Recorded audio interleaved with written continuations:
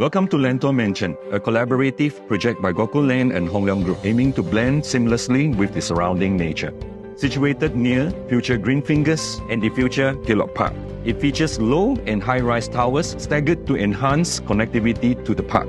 The entrance, inspired by black and white bungalows, pays homage to Singapore's heritage. The clubhouse boasts passive design elements and a modern twist. With a grand 50 meter lap pool and expansive verandas, the landscape design mimics the forest grounds, offering diverse experiences such as meandering creeks, gardens, trails, and pavilions.